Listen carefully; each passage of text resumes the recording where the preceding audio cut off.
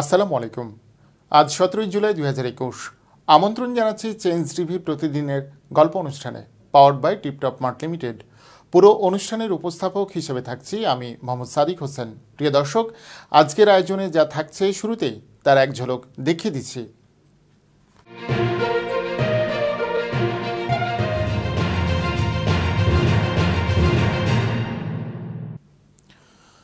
হঠাৎ মিশরের অবস্থান পরিবর্তন। ব্রাদারহুডের বিরুদ্ধে কঠোর মিশর সরকার এবার নমনীয়তা দেখাল। বিশ্লেষকরা বলছেন, তুরস্কের সঙ্গে সম্পর্ক উন্নয়নের প্রভাব পড়ছে মিশর সরকারের সিদ্ধান্তে। মিশরের এক আদালত এ সপ্তাহে একশো ত্রিশ আসামিকে মুক্তি দিয়েছে। এসব রাজনৈতিক বন্দির মুক্তির খবর এক মানবাধিকার আইনজীবীর মাধ্যমে জানা গেছে বলে আনাদুলু এজেন্সি জানিয়েছে। মিশরের বিরোধী রাজনৈতিক দলগুলোর ওয়েবসাইট ডার্ব জানিয়েছে মানবাধিকার আইনজীবী খালেদ আলী বলেছেন যে কায়রোর অপরাধ আদালত বিশ রাজনৈতিক মামলায় অভিযুক্ত একশো ত্রিশ আসামিকে মুক্তি দিয়েছে। আইনজীবী খালেদ আলী বলেন, এসব রাজনৈতিক মামলায় অভিযুক্ত ব্যক্তিদের এই সপ্তাহেই মুক্তি দেওয়া হবে। এছাড়া তিনি আরও বিস্তারিত কিছু জানাননি। ওই আইনজীবীর মত অনুসারে তিন দিনে কায়রোর অপরাধ আদালত দু হাজার রাজনৈতিক মামলার আসামির সাজার মেয়াদ আরও বাড়াচ্ছেন।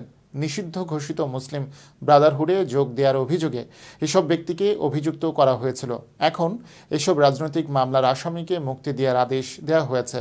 রাজনৈতিক মামলার আসামিদের মুক্তি দেওয়ার বিষয়ে আনাদুল এজেন্সির প্রতিবেদনের বিষয়ে মিশরীয় কর্তৃপক্ষ কোনো মন্তব্য করেনি। কারাগারে কোনো রাজনৈতিক বন্দী নেই বলে দাবি করে মিশর।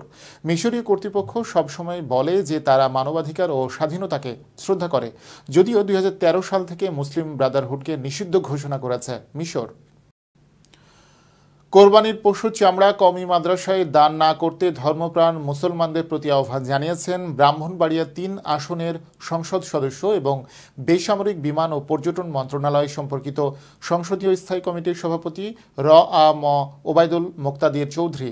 ব্রাহ্মণবাড়িয়া জেলা ও সদর উপজেলা প্রশাসনের উদ্যোগে বাস, ট্রাক, মাইক্রোবাস এবং ঋষি সম্প্রদায় সহ বিভিন্ন শ্রেণি পেশার কর্মহীন এক হাজার সাধারণ মানুষের মাঝে প্রধানমন্ত্রীর ত্রাণ তহবিল থেকে খাদ্য সহায়তা প্রদান অনুষ্ঠানে তিনি এই আহ্বান জানান। র আম ওবায়দুল মুক্তাদির বলেন, এই ত্রাণ সামগ্রী প্রধানমন্ত্রীর পক্ষ থেকে আপনাদের জন্য ঈদ উপহার হিসেবে দেওয়া হয়েছে।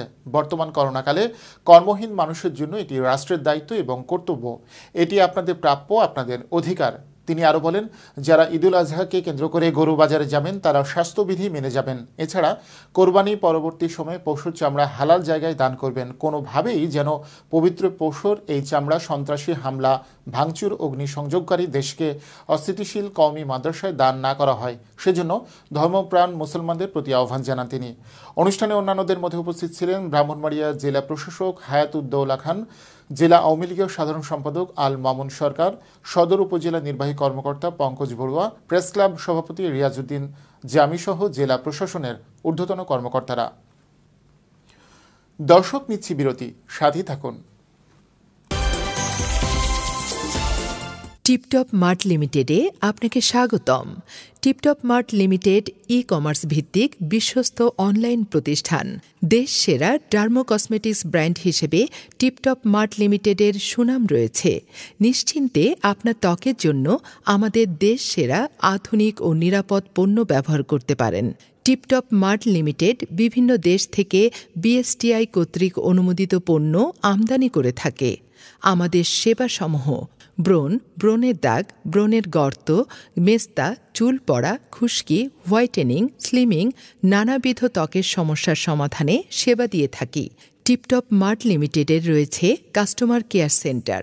ত্বকের সাথে সম্পর্কিত নানাবিধ সমস্যা সমাধানে যে কোনো সময় সরাসরি ফোন দিয়ে সেবা গ্রহণ করতে পারেন।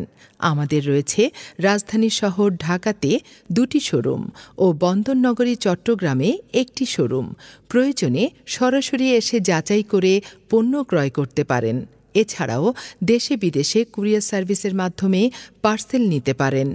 গ্রাহক সেবার কথা চিন্তা করে খুব শীঘ্রই দেশের জেলা ও বিভাগীয় পর্যায়ে শোরুম দেওয়ার পরিকল্পনা রয়েছে আমাদের। টিপটপ মার্ট লিমিটেড, আপনার প্রত্যাশা, আমাদের অঙ্গীকার। Tiptop Mart Limited, your expectation is our commitment. আপনাদের আস্থা ও ভালোবাসায় আমাদের দীর্ঘ পথ চলার পথেও আবাবিল পণ্য সকলের জন্য। আদ্দিন ফাউন্ডেশন পরিচালিত মেডিকেল কলেজসমূহে ভর্তি চলছে। ভর্তি সংক্রান্ত তথ্যের জন্য যোগাযোগ করুন Ad-din women's medical college. Ad-din Sakina women's medical college. Bashundhara Ad-din medical college. Ad-din Akij medical college.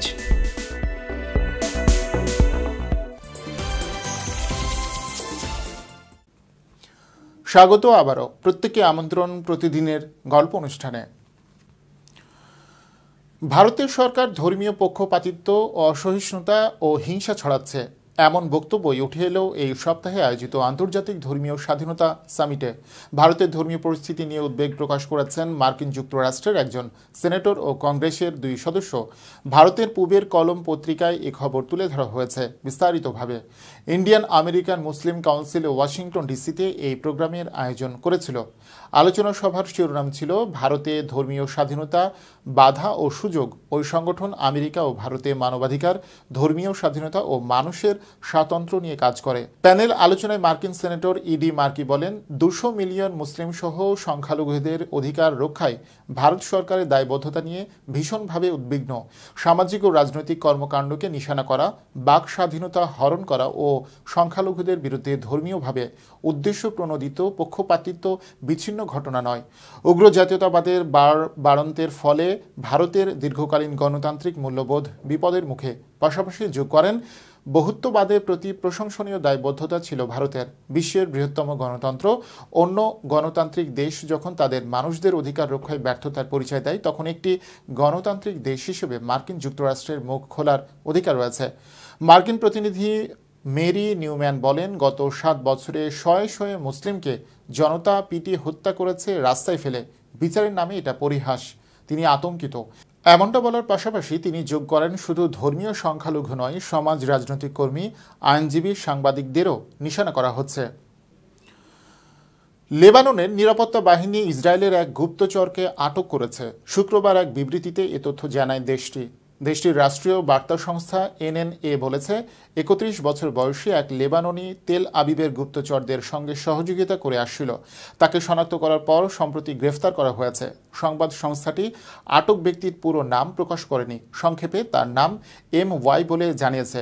বেকা এলাকা থেকে তাকে গ্রেফতার করা হয়। আটক গুপ্তচর জিজ্ঞাসাবাদে ইসরায়েলের হয়ে গুপ্তচর বৃত্তির কথা স্বীকার করেছে। বিবৃতিতে আরও বলা হয়েছে, আটক ব্যক্তি এই কাজে তার জড়িয়ে পড়ার প্রক্রিয়া সম্পর্কেও তথ্য দিয়েছে। তিনি জানিয়েছেন, দুই হাজার উনিশ সালের শুরুতে ইসরায়েলের নিরাপত্তা বিভাগে ইমেল পাঠিয়ে নিজেই সহযোগিতা করার প্রস্তাব দেয়। এরপর ইসরায়েলের নিরাপত্তা বাহিনীর পক্ষ থেকে তার সঙ্গে যোগাযোগ করা হয় এবং অর্থের বিনিময়ে তথ্য সরবরাহের প্রস্তাব দেয়। এরপর ব্যক্তি ইসরায়েলের কাছে গুরুত্বপূর্ণ তথ্য পাঠায়। এর আগে গত বছরও লেবাননের নিরাপত্তা বাহিনী কিন্দা আল খাতিব নামে এক ব্যক্তিকে ইসরায়েলের পক্ষে গুপ্তচর বৃত্তির দায়ে আটক করে। কিন্দা আল খাতিব সামাজিক যোগাযোগ মাধ্যমে সাদ আল হারিরির পার্টি তিয়ার আল মুস্তাকবালের সমর্থক হিসেবে পরিচিত ছিল। সে সবসময় হিজবুল্লার বিরোধিতা করত। দর্শক, এর মধ্যে দিয়ে শেষ করছি প্রতিদিনের গল্পের আজকের গল্প। প্রিয় দর্শক চেঞ্জ টিভি ডট প্রেস, বাংলাদেশের ইউটিউব জার্নালিজমের অগ্রদূত। ভিজিট করুন এর website W W W dot change TV dot press YouTube YouTube dot com slash change TV press এবং সাবস্ক্রাইব করুন চ্যানেলটি। নিয়মিত লাইক, কমেন্ট ও শেয়ার করে আপডেট রাখুন নিজেকে। ভালো থাকুন, নিরাপদে থাকুন। সবাইকে অন্তহীন শুভেচ্ছা।